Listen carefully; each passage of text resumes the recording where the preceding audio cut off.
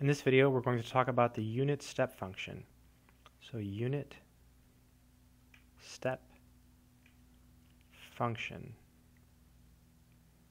So first, we're going to define the unit step function. It's defined as a piecewise function. So the way we're going to define it is u of t minus a. It's a piecewise function. And it's going to be 0 if t is less than a and greater than or equal to 0. And it's going to be 1 if t is greater than or equal to a. Let's look at a graph of the unit step function so you see what it looks like. So here's the y-axis, and then here's the t-axis, and then here's a. So between 0 and a, it's equal to 0. So it's going to be 0 all the way until we get to A. And then at A, there's a little hole, right, because we have that. And then it jumps up to 1. And now it's on. Okay, that's the way you think about it. It's been turned on, and now it's 1 all the way across. So here you want to think of it as being off, and here you want to think of it as being on.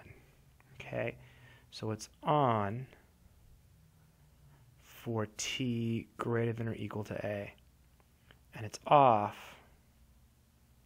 for t less than a and greater than or equal to 0. It's kind of like an electrical switch, right? It's off or it's on. That's the idea here. That's how you want to think about it, on and off. And before we do an example uh, that illustrates what this is useful for, um, let me just emphasize this a little bit more. Like say we took this, uh, say we took a function f of t and we multiplied it by the unit step function. Well, what does that do? Let's, let's carefully look at it. You would get f of t times 0. So that would be 0 for t less than a. And then if you do f of t times 1, you just get f of t, right? So it'd be f of t for t greater than or equal to a. So what, what does this graph look like? Well, why not? Let's do it. Let's live on the edge. So here's, here's A. Okay, let me use yellow again to indicate it. So it's 0 all the way till it gets to A, and then right at A, boom, at A, it doesn't become 1 anymore, it turns on. So this is your function f here. So what this does is, when you take f, when you take a function, and you multiply by the unit step function, it turns it on. So f is on for t bigger than or equal to a. So you can use the unit step function to turn functions on. Okay, that's the idea. So what are these used for? Well, mainly what's going to happen is we're going to have a piecewise function. And it turns out it's very easy to write piecewise functions in terms of unit step functions. And it's very easy to compute the Laplace transform of the unit step function. So whenever you have a piecewise function, you write it in terms of unit step functions. That's the idea. And then when, if you need to take the Laplace transform, you do. So let's do an example uh, of a piecewise function. Let's take an abstract one first, and then I'll do one with numbers. Okay, so here's a piecewise function. This is g of t, and this will be for t less than a, and then it's going to be h of t for t bigger than a. All right, so let's go ahead and write this in terms of unit step functions. Let me use a different color. How about red? Here we go, f of t. This is a bit tricky, okay, so I'm going to try to go slow.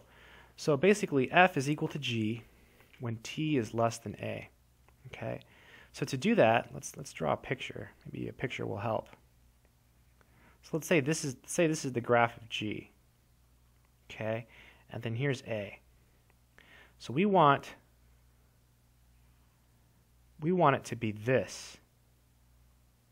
Right? We want G to be on for T less than A. So what we're going to do, right, is we're going to turn G on permanently. How do we do that? Well, we just write down G. Now it's just G. Right? Now it's just G. Now it looks like this. This is the graph of this is this right here. Okay? And um, we want this. So what we do is we need to subtract away this this yellow piece here. So how do we subtract away this yellow piece? Well, we know how to do that, right?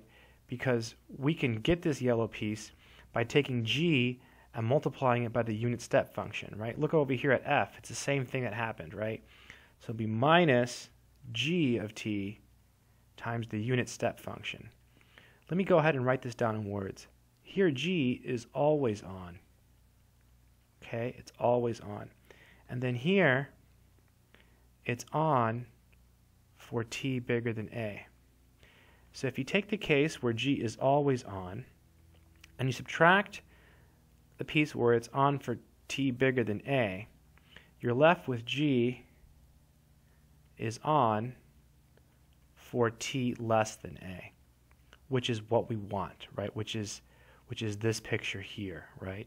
So here this is g. So we basically we take this big piece here, we subtract away the yellow, and we get this down here. That's what we want. Plus, and this next part's easy, h has to be on for t bigger than a. We know that, that to turn a function on for t bigger than a, we simply multiply it by the unit step function. All right, so that's it. That's how you write it in terms of piecewise uh, functions. Let's do a really simple example with numbers.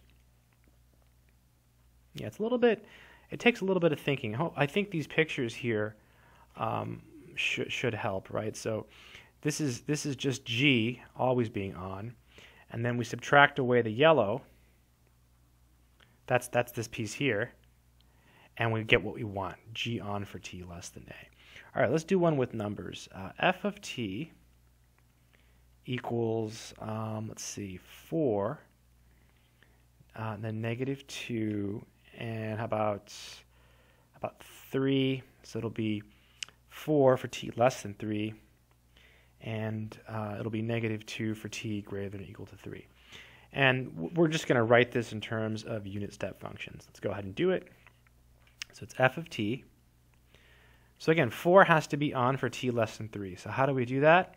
We turn it on permanently, boom, and then we subtract the piece where it's on for t bigger than 3. Right, so this is always on. It's always 4. This is on for t bigger than 3. So this is on for t less than 3. And then plus, and then we have negative 2, and we need to turn that on for t bigger than 3. So that's going to be u of t minus u of t minus 3. And I guess you could simplify this, right? Um, negative 4 and negative 2 would give you uh, negative 6. This is 4 minus 6 unit step of t minus 3. So that's just a really quick introduction to um, the unit step function. I know it's a little bit confusing, the whole on-off thing, and it, it, takes some practice. Uh, maybe if I have time, I'll, I'll make some more videos. It really is really, really beautiful stuff. So I hope this helps someone out there. That's it.